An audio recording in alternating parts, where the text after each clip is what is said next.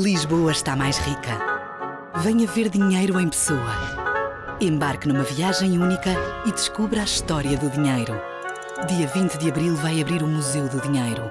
Uma experiência desenhada para infantes e graúdos. Museu do Dinheiro. Venha ver dinheiro como nunca viu.